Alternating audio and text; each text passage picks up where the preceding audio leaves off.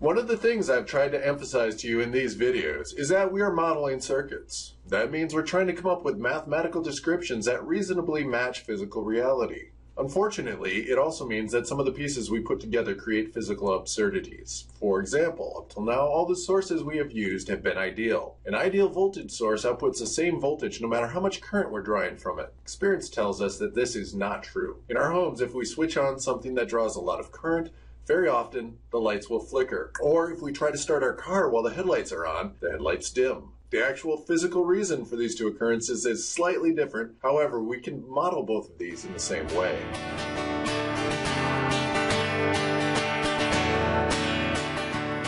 For our purposes, when dealing with circuits on an introductory level, we might evaluate our models by asking two questions. How well do they predict the results that we get? And how easy are they to use? An ideal voltage or current source is very easy to use, but it does not have great predictive power. This flaw in the model is very easily corrected. For example, we can model a voltage source more accurately simply by adding a series resistance with the ideal source. To see if this improves our model of a voltage source, we can investigate how the output voltage of the source will change based on how much current a load resistor is trying to draw. The voltage at the output can be calculated using simple voltage division. If we start looking at the output voltage by looking at a fairly large load resistor, for example 1 kilo ohm, we find the output voltage is nearly 12 volts. I do ask you to forgive me a little for playing loose with significant figures for this illustration. If we decrease the load resistance to 10 ohms, we find the output voltage decreases by just slightly more than a tenth of a volt. A load resistor of 1 ohm results in the output being slightly more than a volt below the ideal. When our load resistance matches the resistance of the source, we get exactly half the ideal output. If we put an even smaller resistance for the load, like 10 milliohms, our output dips to just over a volt. And of course, if we put a 0 ohm resistance out there, which is the equivalent of a wire, we get 0 volts at the output. While this may not be a perfect model of a source, it does much more closely reflect the real behavior of a source. If we look at the amount of current being drawn from the source, the voltage we get at the output gets smaller and smaller as the current we draw gets higher and higher. This would explain why headlights dim when we try to start a car. When the car's starter demands a lot of current, the voltage at the terminals of the battery decreases. A lower voltage applied to the lights results in less light being emitted. Our conclusion, the model of a voltage source can be made more realistic by adding a series resistor with the ideal voltage source. We also have something called an ideal current source. This is a current source from which we get the same current no matter how much current's drawn from it, no matter matter what the voltage is across it. This is no more realistic than an ideal voltage source. Let's start with an ideal current source and add a resistance in parallel. If we add a load resistor to this circuit, we can see how much current gets to the load by using current division. Remember, to do current division, we look at the conductance we're interested in divided by the sum of conductances in parallel times the total current seen by the parallel combination. If we analyze this for all the same load resistors, we'll find the load currents will be as follows. If our short-term memory is working properly, these values should look very familiar. They are the same currents we got for the voltage source. Now let's talk this through. We're modeling circuits. We thought we could model a voltage source more accurately by putting a resistance in series with the ideal voltage source.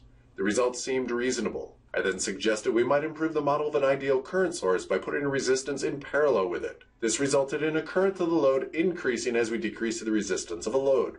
This again seems reasonable. What we might not have expected was to get the same exact currents to the load for every resistance, but we did. So if two models produce the same exact results, it's probably safe to say that they are equivalent models. So a voltage source in series with a resistance is equivalent to a current source in parallel with the same resistance. And it's not too hard to see that the relationship between the values of the voltage and the current source is simply Ohm's law. In generalized term, we could write it like this. If we had a current source on the right, we can make the equivalent voltage source on the left by using Ohm's law to calculate the value of the voltage source. And if we had a voltage source on the left, we wanted to represent it as the current source on the right, we again use Ohm's law to determine the value of the current source. Changing between these two representations of the same source is what we call a source transformation. This immediately brings up the very profound question, so what? Well, sometimes it's convenient we might be looking at a circuit with a current source in parallel with a resistor and realize if it was only a voltage source in series with a resistor, solving for the voltages and currents in the circuit would be much easier. There is another reason, but I won't bring that up until I need to. Now, I'm not a gambler, but I'm willing to bet right now you're thinking, what I need to see right now is a very contrived example of how this might be useful. Was that? It's a good thing I'm not a gambler? You're probably right, but I'm still going to give you a contrived example. Oh, Hold it, are those terms redundant? I hate redundant phrases. Be right back. It turns out that contrived and example are not redundant. Something can be an example without ever having been contrived, so contrived is a legitimate adjective modifying example. I'm very relieved to find this out. Moving on. Imagine some instructor somewhere for this circuit asks you to find an expression for VL in terms of RL. In light of the previous comments I made, you probably know that source transformations are going to help us out here. We notice that the left side of the circuit is a voltage source in series with a resistor. From what we just learned, we know that we can make this into a current source in parallel with a resistor.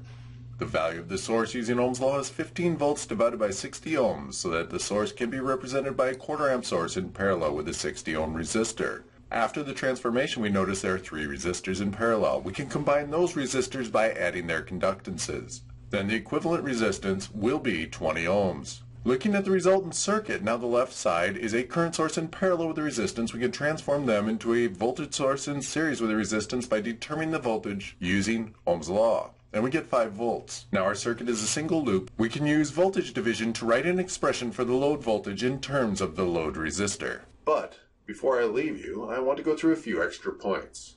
First, it is perfectly acceptable to transform a dependent source as long as it is a dependent voltage source in series with a resistor or a dependent current source in parallel with the resistor. The value of the dependent sources will still be related by Ohm's law. So if we had a dependent voltage source of 6Vx in series with a 10 ohm resistor and we wanted to transform it into a current source in parallel with the resistor, the value of the dependent current source in the transformed circuit will be 6Vx divided by 10 ohms. Just remember, a source transformation cannot eliminate dependence. Another issue that comes up is one in a situation like this. Clearly, this is a voltage source in series with a resistor. In that respect, this voltage source can be transformed. However, transforming this voltage will eliminate the variable Vx. If that is a controlling parameter for a dependent source, or if it happens to be what we're trying to determine, the transformation will render the problem unsolvable. Do not transform controlling parameters or elements that have a current or voltage you're trying to discover. Another point, anytime we do a source transformation, the transformed source must exist between the same two nodes as it did before the transformation. So that this current source, in parallel with the resistor, would transform into this voltage source in series with the resistor, like this. A very common error I see when people are learning about source transformations occurs when there's a current source in parallel with a resistor in the middle of a circuit. Students will often try to transform it by having the voltage source and resistor maintain some sort of traditional shape of a voltage source in series with a resistor, like the 15 volt source and the 60 ohm resistor on the left. This results in an entirely new circuit, so the results we will get will have nothing to do with the original circuit. In other words, they will be junk. If I was able to communicate what I meant to in this video, you now know that a voltage source in series with a resistor can be used interchangeably with a current source in parallel with a resistor, as long as the voltage and current are related by Ohm's law. To go from a current source to a voltage source, the voltage will be a resistance times a current. To go from a voltage to a current source, the current will be voltage divided by resistance. That's all I have for you today. Go out and make it a great one.